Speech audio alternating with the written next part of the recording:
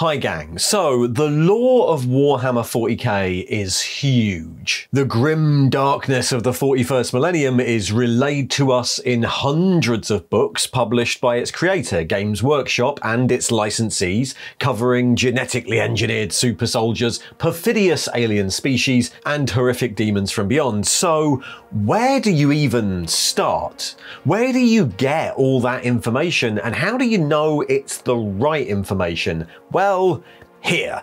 In this video, I'm going to do a really broad overview of the main themes of 40k, and then take a look at the best places to find out about it, be they novels, rulebooks, or idiots on the internet like me.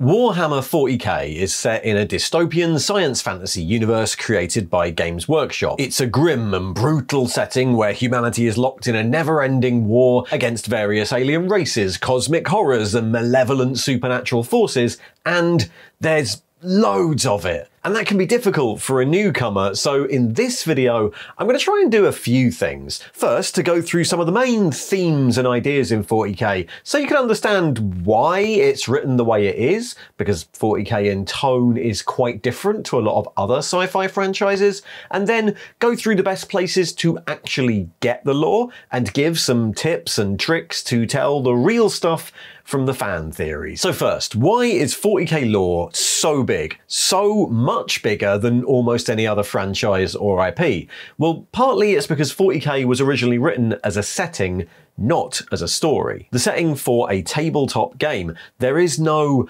main character or original trilogy of books or movies that this all grew out of. Instead, it was written as a kind of sandbox for people to tell their own stories in, originally to provide a bit of background for people's games of Warhammer. Those games went through various different editions over 35 years, each of which added a bit more backstory, and at the same time, hundreds of novels, short stories, video games, and other other products were written in that shared world. The whole universe of 40k is designed to be really, really big and to hold within it any sort of story the players might want to tell, from action-packed battles to tense detective novels. It's a complex and very rich and varied world created by loads of different writers over decades and written in many different styles. But despite all that variety, there are a number of common themes to Warhammer 40k, and it might be useful to take them into account when you're first diving into all that lore. The first one that you will hear everywhere is grim dark. Warhammer 40k is ridiculously, comedically bleak. It's a universe where horrific atrocities are committed daily, where innumerable millions of people lose their lives in galaxy spanning war zones, and where every single faction is generally terrible, but for different reasons. It's designed as the setting for a war game where all the factions are fighting all the time, and Games Workshop have always presented those wars as ultimately a bad thing. In the lore, even the wars of survival are usually framed as being avoidable, and any glorious heroism is usually some sort of in-world propaganda. All that constant warfare is then twinned with a regressive look at the future. For all its sci-fi trappings, the universe of 40k, especially the Imperium of Man, the protagonist, is a regressive sci-fi setting. Most people's lives in this universe are spent as near peasants or factory drones. The depictions of their life much more similar to people from our past rather than people from our future. Their lives are dictated by feudal custom, dogmatic religion, and ancient inviolable tradition that are inescapable for most people, and that's before we get to the threat of ancient demons. Even the Xenos species of the galaxy, the aliens in this setting, are more like races from a fantasy novel that's how they started out. Elves and orcs whose societies are just as traditionalist or inescapable as the human one. So the darkness of this universe constantly at war is made grim by the fact that it's inescapable for everyone, and the things that make it inescapable are usually reinforced by its terrible occupants, who couldn't imagine a world where anything was different. Warhammer characters frequently have to battle not just the enemy, but their own hidebound or obstructive systems. Writing heroic protagonists in that setting can be difficult. Many of the main characters of Warhammer operate on a much smaller scale. They're cogs in the machine rather than the big leaders. The stakes in a Warhammer story tend to revolve around a single battle or a single campaign or a single world, and on that much more human scale, the characters can then care about their own survival or the survival of their comrades and loved ones, revealing a mystery or completing a task that needs doing. All stuff that's a bit more universal and relatable to the audience. The main characters of Warhammer stories are rarely the godlike super powerful beings, they're the people standing to the side of them. The sacrifices that these people might be forced to make in the story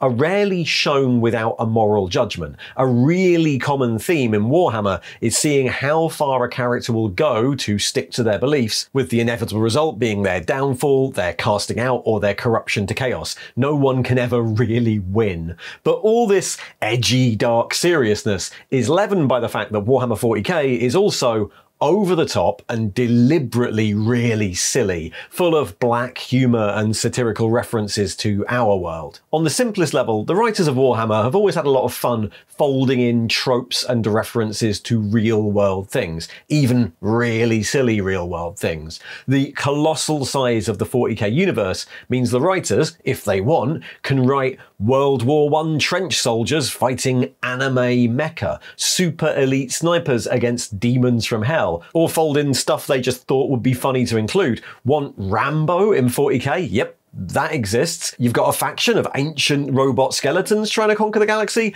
Well, let's portray them as bickering colleagues complaining about the old days and trying to one up each other. What about the species developed as a superweapon who only enjoy fighting? Right, they're going to be comedy slapstick football hooligans. The fact that in 40k the scale of everything is turned up to 11 makes it absurd, and 40k then really leans into that absurdity. And one of the other ways you can use absurdity is a satire. This absurdity of scale allows the setting to satirize by exaggeration plenty of things from everyday life.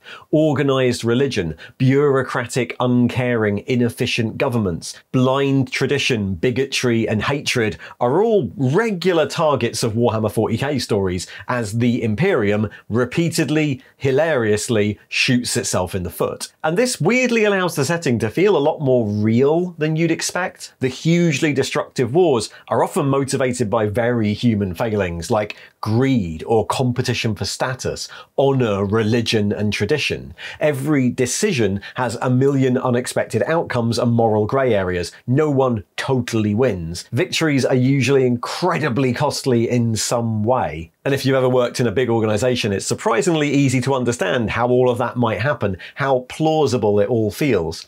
This isn't a fantasy world where a noble superhero wins the day over the forces of darkness. That sort of stuff feels almost childishly naive compared to 40k. The colossal scale of Warhammer, its hidebound institutions, and its petty human failings make it surprisingly relatable even if it is absurdly over the top all the time. And all of that means that Warhammer lore has a few problems for the new reader. First, it's basically impossible to have read everything, and with the number of different authors writing in the world, the lore occasionally often contradicts itself. The galaxy of Warhammer is so huge that human populations are often isolated by their distance from each other. Society might work very differently in one part of the galaxy than in another, and news travels really slow, so conflicting accounts are often written off as unreliable narrators or third-hand gossip. The books are full of weird little stories and threads that are left deliberately hanging and then are never resolved, either to create a sense of a wide, mysterious universe, or to allow the players and modelers some freedom in creating their own things. Nothing is ever neatly wrapped up. And that means that a colossal amount of the fan content out there, the conversation that happens on the internet, is theories head canon as people come up with ways to try and make it all make sense. And this gives us our central problem. Where do you start if you want to read 40k lore? There are basically four places people find this stuff. The first is game books, the rule books and supplements that come with the various tabletop and role playing games, but those are dwarfed by the number of novels, the hundreds of full length and short stories published by Games Workshop's publishing arm, the Black Library. Once you move away from those official sources, there are a few wikis out there, aggregated sources of all the lore combined. This is where it starts to get a bit dicey, as some of those are much more reliable than others. And then finally, you end up with us, content creators. There are loads of people on all sorts of platforms who explain the lore, but as you can imagine, some are more reliable than others. We'll go through how to spot the best ones, and I'll put a few of my recommendations in the thing below. The game books are sometimes, unfortunately, the best place to start. The core rulebooks for Warhammer 40k,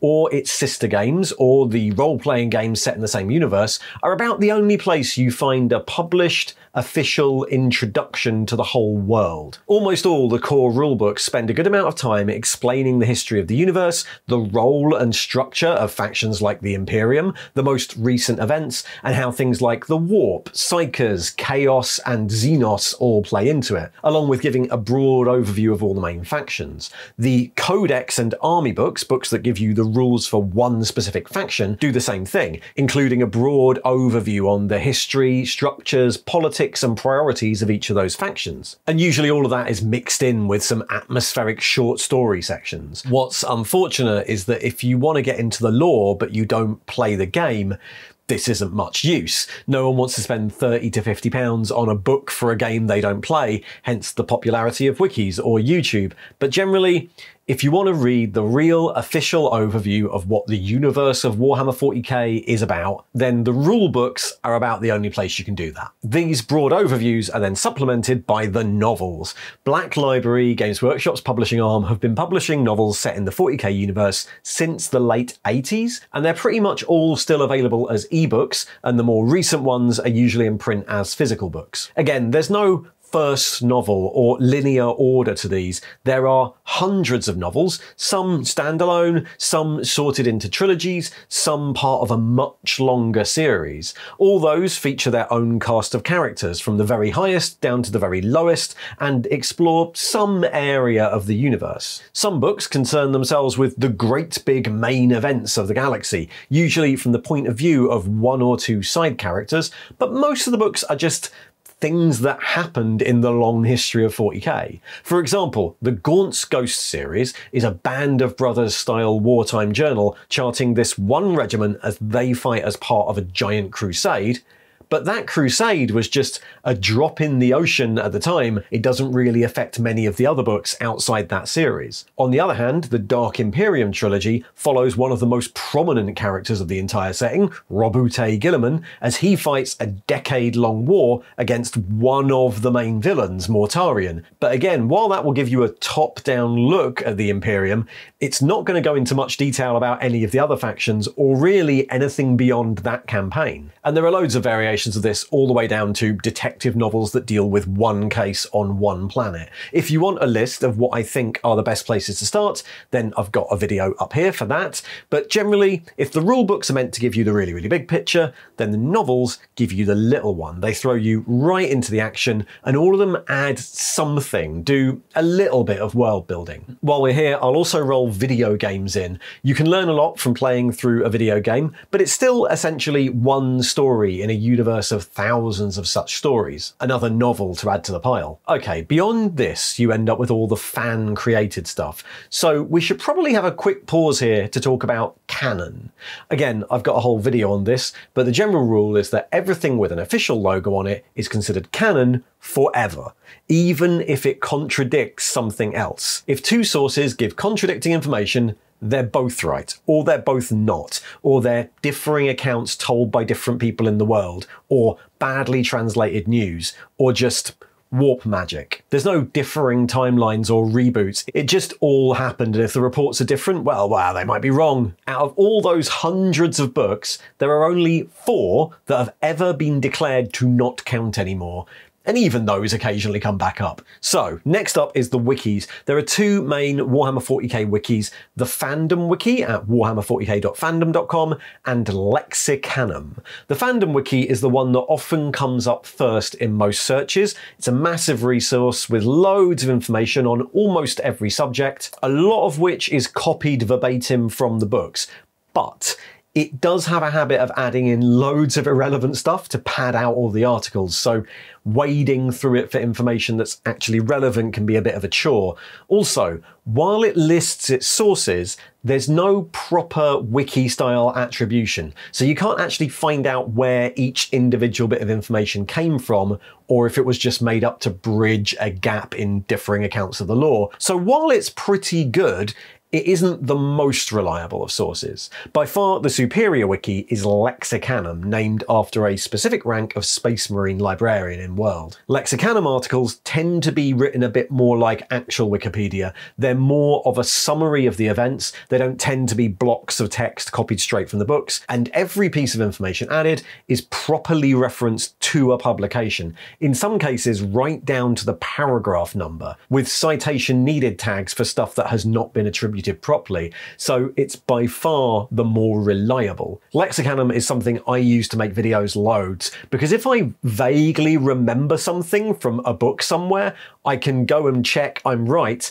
and find where I might have read that before. Lexicanum also translates to French and German and has similar branches for Age of Sigmar and Warhammer Fantasy. Also in this sort of world is the 40k lore subreddit, which is really popular. It's a little variable in quality. It's pretty good if you have a simple question, but it's also rife with fan theories and obviously it's Reddit, so arguments about minor details can spiral into massive long things. But it does have a really good community of users with massive brains and apparently photographic memories, or at least very good use of the search function, who will often answer questions by posting the relevant excerpt direct from the books, which can be really handy if you've heard about something but don't know if it's actually real or not. And then finally, we come to where a lot of people do find their intro to 40k content creators. There are a ton of YouTubers, podcasters, article writers, and short form TikTok and Instagram creators who've built a channel on explaining 40k's massive complex lore. You can find loads of variety here, loads of different delivery styles depending on your preference. Some are short form summaries, some, especially YouTube and podcast content, is in the form of really long scripted videos, multiple hours. Um, if that seems ridiculous, it's because people like to have something on in the background while they're painting. Obviously, the quality of this is really variable. Nobody is checking or verifying anything a content creator says, and content creators do have a vested interest in getting you to click on the thumbnail, which means they have a vested interest in making everything sound either way more important or way simpler than it really is. There are way too many to go through here. I've listed my favourites down in the description, but generally there are a few things I tend to watch out for that might be useful. First, uh, if you're a new player, I'd avoid anything with the word theories in it. If you're just getting into the lore, then the last thing you need is people's personal headcanon. There are a few channels based on either personal theories or on rumours that I generally just steer clear of if you're new it's going to get confusing. Second, as we mentioned, Warhammer lore often exists in a sort of perpetual grey area. No story is ever completely finished. Nobody is the good guy or the bad guy. The galaxy is vast and operates in a million different ways. There are no simple power levels or concrete answers. The beauty of the setting is in exactly how massive and complex it is. So for this reason, my main point regarding YouTube is to avoid hyperbole which I realise is a silly thing to say about YouTube. The most powerful this, the biggest that, the eighth strongest whatever, the real true reason for this. For me, those sort of titles tend to show that the author is about to massively oversimplify the universe. Nothing in 40k is ever as simple as who's the strongest or what one thing will explain everything. With 40k lore channels, I think it's best to keep it simple. If you want to know about the background of Space Marines, go for the videos that just say that, not the ones called You Won't Believe the 10 Strongest Space Marines. Third, and probably the least important, I tend to steer clear of the more memey comedy channels. 40k is really deliberately humorous, we've said that earlier. It's bleak and self-referential and satirical and silly, but most of that humour is in the form of like knowing nods to real world things. Inside the world, everyone takes everything completely seriously. But content creator humour tends to go down more of the college bro dick joke route and often makes fun of 40k for like being stupid, which is kind of missing the point. The annoying downside of this is that the 40k internet is full of memes that people think are based on real lore but actually aren't. They're based on a fandom joke or something. And you end up bumping into people who genuinely think things that have never been written down by anyone. And that only makes it more confusing if you're new. Look, you might enjoy those channels a lot more than I do. You might find it an easy way in, which is great. But if you want to find out what 40k lore actually is, I probably wouldn't rely on people who are mostly making fun of it. It can be quite misleading sometimes. And then finally, how to say this? The satire of 40k either doesn't land with some people or is deliberately ignored with some people because they like the idea that everything's bleak and dark and edgy. And those people might have a tendency to make lore videos as a way of spreading some really horrible ideas. This is, of course, the case in a number of different fandoms. It's not just a Warhammer thing, but there have been the occasional content creator whose channels have been shut down over making videos that were, let's say, not very welcoming to the fan base. Anyway, you know, just be aware of that. So there, if you're just getting into 40k lore and you're trying to vaguely attempt to make sense of it all, hopefully that will help. It's an incredibly rich universe, but it isn't as much of a polished product as some other universes. It's written by a load of people having fun. The secret to engaging with it is accepting the fact that, just like in the real world, you can't know everything, you can't read all of it, and often it's just not going to make sense. You just have to go with it anyway. It's loads of fun. Thanks for watching. And if you'd like to hear more about the lore of 40k, there should be a video coming up there on the right. And if you'd like to support the channel, there's the usual Patreon link below, where you can get early access to videos, vote on book clubs, or join the Discord. If you want to contribute to my collection of unpainted models, there's an affiliate link for Firestorm Games in the description. And otherwise, you can do the YouTube stuff and click all the likey buttons. See ya!